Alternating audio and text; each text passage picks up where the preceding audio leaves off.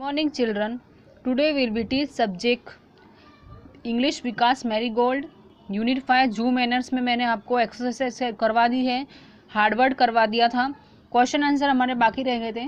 Page number seventy four है. ये page number seventy four के क्वेश्चन आंसर वर्क बुक में. आप देख लेना. ठीक है? What you see at the zoo तो आप जू में क्या देखते हो आप? जू में. What see what do you see at the zoo आप जू में आप क्या देखते हो? तो वी सी हम क्या देखते हैं? Animals at the zoo animals होते हैं जू में. क्या होते हैं?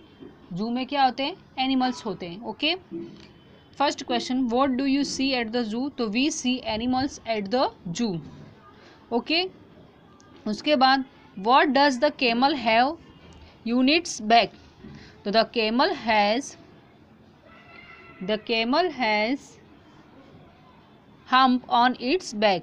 What does the camel have on its have and on its back? तो the camel has a hump on its back camel के बैक में क्या होता है? हम्प होता है, ऊँचा ऊँचा। एक हम्प होता है, उसको हिंदी में क्या बोलते हैं? कुबड़ बोलते हैं ओके उसके पीठ पे क्या होता है? ऊँचा सा हम्प होता है okay what does the chimpanzee think तो the chimpanzee think he he as a wise and as you और मी वो सोचता है कि मैं बहुत बड़ा एनिमल हूँ, जैसे वो अपने, वो सोचता है, जैसे आप और मैं, वो सोचता है कि मैं बहुत बड़ा एक वाइज क्या हूँ? वाइज मैं बहुत बड़ा हूँ, जैसे तुम और मैं, जैसे आप और मैं ओके उसके बाद next what do the penguin do penguin क्या कर रही थी? तो penguin sitting penguin sitting around the leg penguin around जो लेंग होती है, उसके आजू बाजू क्या कर रही थी? घूम रही थी ओके सेटिंग का मतलब क्या होता है? आजू बाजू चलना, वो क्या कर रही थी?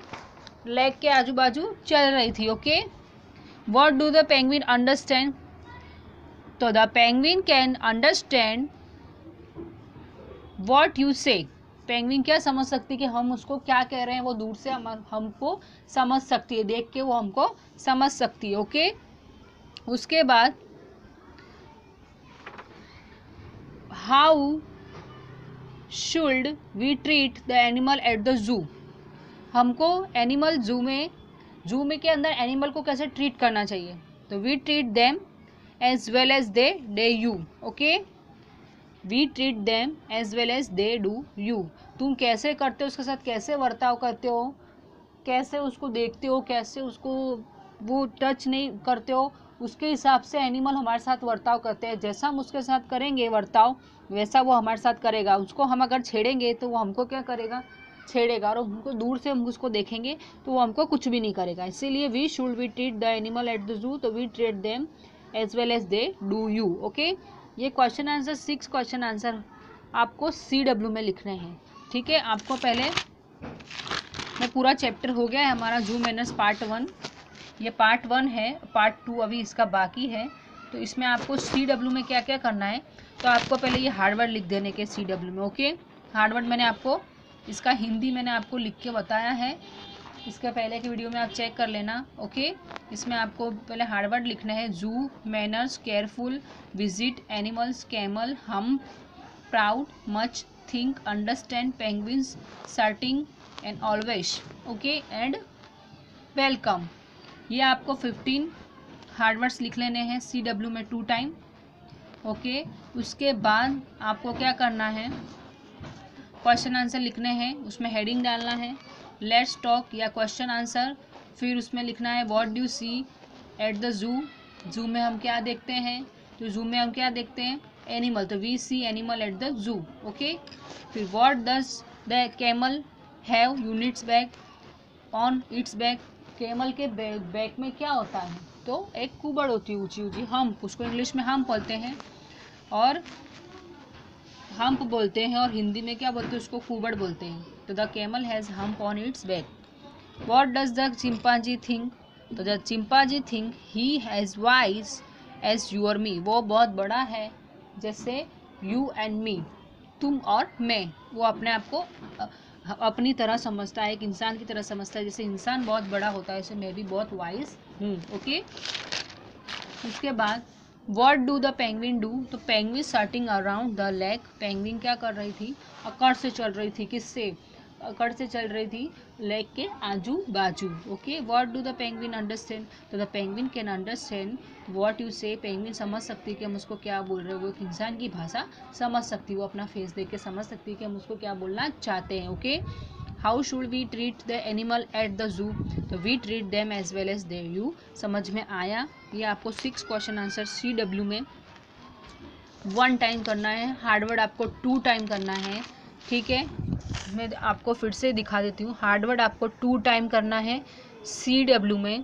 क्वेश्चन आंसर आपको वन टाइम करना है सी डब्ल्यू में। ये क्वेश्चन आंसर आपको page number seventy four work book में आपको क्वेश्चन आंसर मिल जाएँगे। ठीक है? मैंने उसमें भी लिखे हुए मैं अभी आपको बताती हूँ। और आपको इसमें से भी देख के लिखना है। इसमें से देख के लिखना हो तो इसमें से वर्क बुक में से देख के लिखना हो तो वर्क बुक में से। पेज नंबर सेवेंटी फोर में क्वेश्चन आंसर है। सिक्स, ये आपको कितनी बार करना है? वन टाइम करना है अपने सी डब्ल्यू में। उसके बाद आपको क्या करना है? सी डब्ल्यू में ये लिखना है।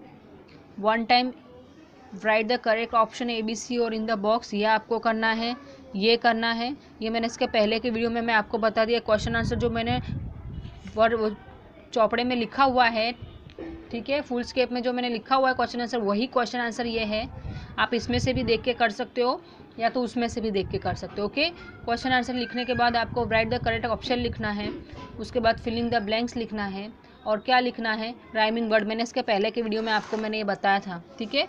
और राइमिंग वर्ड लिखना है। आपको हार्ड वर्ड लिखना है, क्वेश्चन आंसर लिखना है और क्या लिखना है?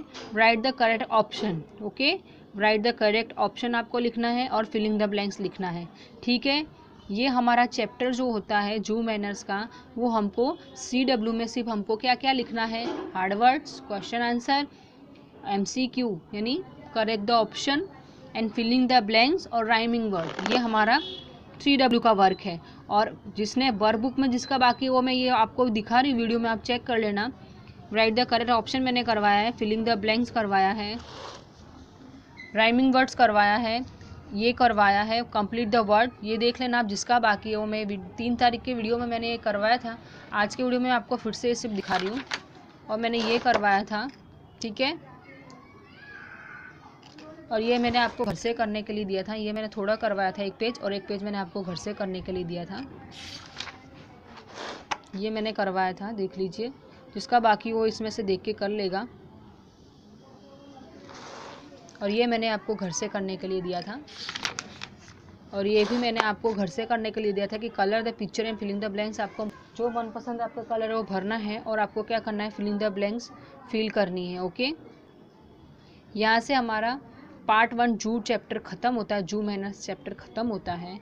हमारा सी डब्ल्यू का वर्क भी हमने बता दिया मैं आपको, और वर्क बुक का वर्क भी बता दिया, ठीक है? पता चल गया आपको, ठीक है? आपको सी डब्ल्यू का वर्क भी इसमें से देख के करना है, और वर्क बुक का आपका बाकी हो तो आपको इसमें से कर लेना है। इसके आगे के वीडियो में मैं आपको, इसके आगे का जो चैप्टर है, फ़नी बनी, ठीक है? पार्ट टू है ये हमारा, ठीक है? फ़नी बनी चैप्टर है, वो मैं आपको लिख के एक्सप्लेन करूँगी। हमारे पास टेक्स्ट बुक नहीं है। मैं हर वीडियो में आपको बताती हूँ कि हमारे पास टेक्स्ट बुक नहीं है। तो मैं आपको लिख के बताती हूँ, ठीक है? आपको ये मैं नेक्स्ट वीडियो में मैं बताऊँगी। आज के वीडियो में हम इतना ही करेंगे। सी डब्ल्यू और वर्क बुक का, आपको जू मैनर्स का फाइव नंबर का चैप्टर आपको पूरा कर लेना है, ठीक है?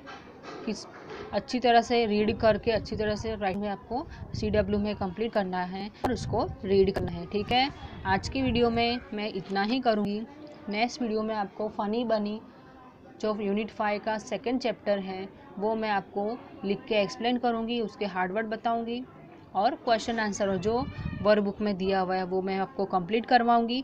बट आज की वीडियो में हम इतना ही करेंगे ओके नेक्स्ट वीडियो में मिलते हैं चिल्ड्रन हम यूनिट फाइव यूनिट फाइव का पार्ट टू फ़नी और बनी, ठीक है? बट आपको ये तरह से करना है, पढ़ना है इसको लिखना है और साथ साथ में लर्न करना ये आपको एग्ज़ाम में आएगा।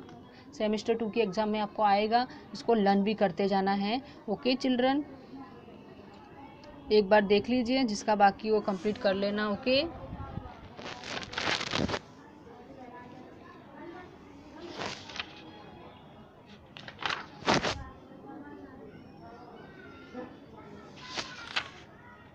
ओके देख लीजिए, यहाँ से हमारा यूनिट फाइव पार्ट वन जो मैंने चैप्टर फिनिश होता है। Thank you